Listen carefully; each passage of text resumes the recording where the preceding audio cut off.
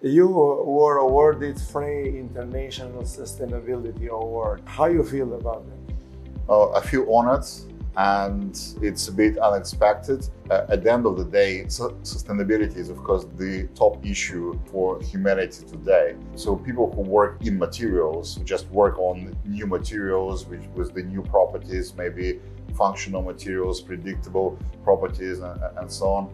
But at the end of the day, it has to serve this global target of sustainability. And uh, I'm, I'm, actually glad that you remind us that materials are indeed one of the key parts and the key players of the sustainable future.